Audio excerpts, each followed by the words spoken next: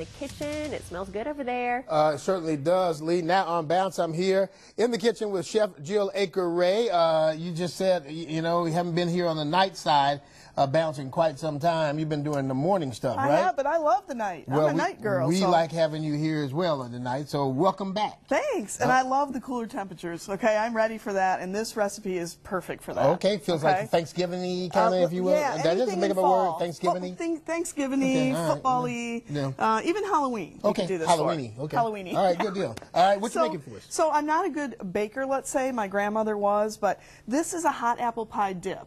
So this I can dip. do. Okay. So what you do is you take eight ounces, or I'm all the measurements will be on my Facebook page, but you take softened cream cheese. Softened cream cheese. And I've cut up some apples. I like a variety of apples because I like a little tart and a little sweet. Mm-hmm. Um, first, you're going to add two tablespoons of brown sugar, Brown sugar, to your alright. dip mixture, Okay. and a fourth of a teaspoon of pumpkin pie spice Okay. or apple pie spice. And you can get that in, in You can anywhere. get that in any grocery store. Comes already mixed for you. Okay. So that's a great combination. And then you just want to blend those into the cream cheese. Mm-hmm. And then we're going to mix half of our apples into this mixture Okay. and put it in. The cream cheese is kind of tough to mix sometimes. Yeah, it is. I've got a little bowl here, so that's I it's a you. Really right. easy recipe. This is something that you can do with the kids. Okay. Good enough for for me. All right. And then you mix in half of your apples, Just half. just half, because you're going to save the other half for the top. Okay. And you mix those in. Mm-hmm. You've set your um, your oven on 375. Okay. Now, is this your recipe? Did you you come? You came I with did this? come up with this Yeah? recipe. All right, Good deal. Do you? What do you do when you you just kind of experiment to come up with different recipes? Yeah, I What do think you that do? everything has a base. Like, you know, most recipes have come from a variation of other recipes a lot of times Mm-hmm. or inspirations. Right. So, and then, you know, you add and subtract and do your own thing. Okay. Okay, so then this goes into a pie tin or in this case, this container. All right. And then you're going to add the rest of your apples. Okay. So you got a little topping of On the apples top. on top. I got you. You're going to add, in my case, I did glazed pecans. Okay.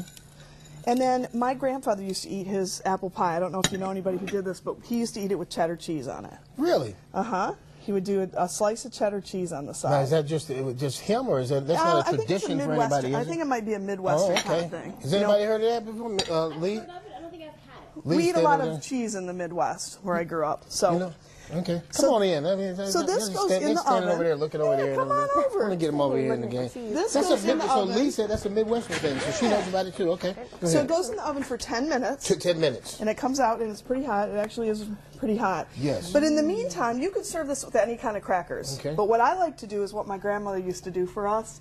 When she'd baked a pie, she made her own crust. She would take the excess pie dough mm. and she would roll it out for us. Mm-hmm. And you can do the football. Okay. Almost kind And she she would make she would just cut them in strips and then mm-hmm. she would bake them off with cinnamon and sugar. How cute. And we would smell, you know, that smell reminds me of being at my grandmother's house doing hmm. that. It's a turkey. I've got a turkey here.